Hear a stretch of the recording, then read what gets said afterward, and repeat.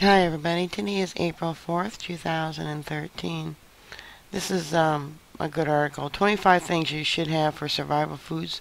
Put them in your pantry now. One thing I sure wish I had. Of course, I could never afford it, but it's a um, radiation Geiger counter, dose meter. One thing I would like you to know is that when storing food for long periods of time, certain things with oils can go rancid example crackers or um, certain types of peanuts if they've been um, roasted in oil. You know things with oil can go rancid so keep that in mind. So here's 25 things you should stock up on. Canned fruits vegetable meats and soup all in the can. Dried legumes beans lentils peas etc crackers nuts pasta sauce peanut butter pasta flour white whole wheat.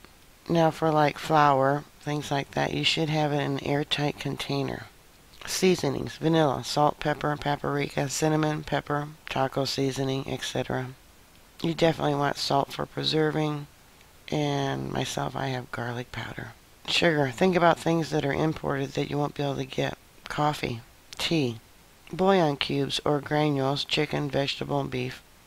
Kitchen staples, baking soda, baking powder, yeast, vinegar honey, unsweetened cocoa powder, jello or pudding mixes, whole grains, barley, bulgur, cornmeal, couscous, oats, quinoa, rice, wheat berries, non-fat dried milk, plant-based oil, corn oil, vegetable oil, coconut oil, olive oil, cereals, seeds for eating and sprouting, popcorn, not the microwavable kind, instant potato flakes, packaged meals, macaroni and cheese, hamburger helper, top ramen noodles, etc.